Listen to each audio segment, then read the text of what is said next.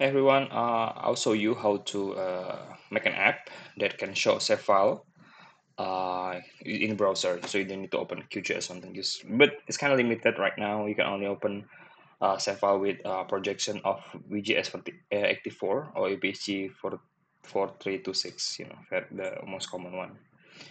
Like you can just drag uh, maybe a very simple shapefile like this. Uh, you should put in zip.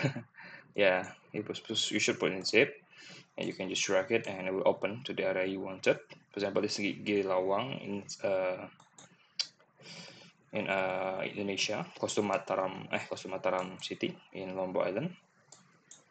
But you can also load uh, more uh, complex data like Indonesia the whole watershed of Indonesia which is 30 megabyte. You can this is this is a file you know this is a file and the rest of the file. You can just drag it to the to the map and we'll load the data.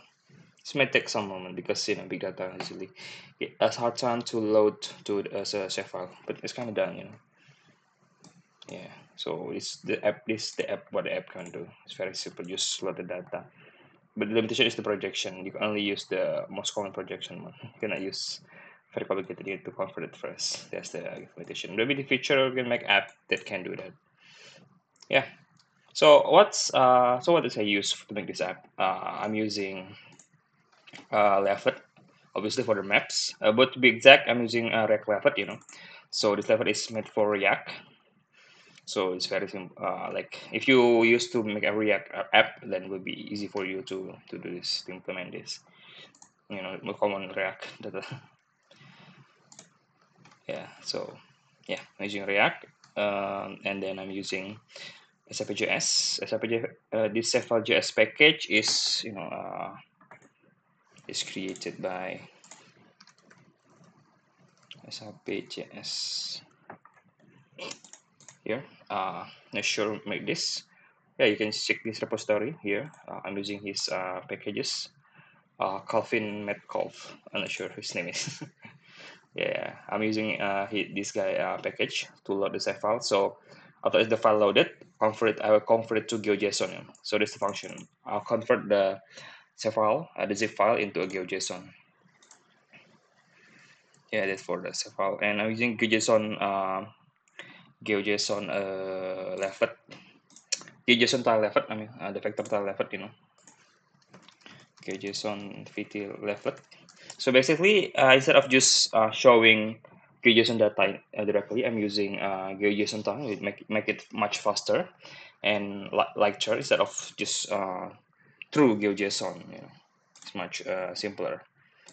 You can just apply his uh, this data. I'm using with uh, some modification. I created by EM Tekson. I'm not sure whose name is. I'm using his packages, although he also using another packages actually. Yeah, Mapbox.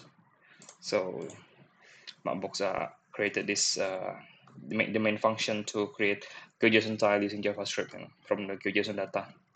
So it's cool. So yeah, I'm using some packages in if you're interested. So yeah, this app to load uh, file. You can select load a simple file or even a complicated one like this one. It's quite uh, high resolution. Zoom in is still quite detailed. Uh, it's the whole watershed of Indonesia, so it's kind of quite big. So yes, so I guess that's uh, my video.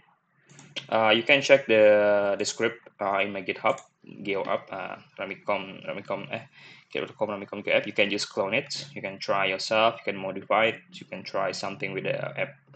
Yeah, but the app is only like to show a Leaflet map. Then you drag the shapefile, then it become the data you the data you use. Uh, you can then it will be showing the the data on the map. Guess that's it. Thank you. Bye.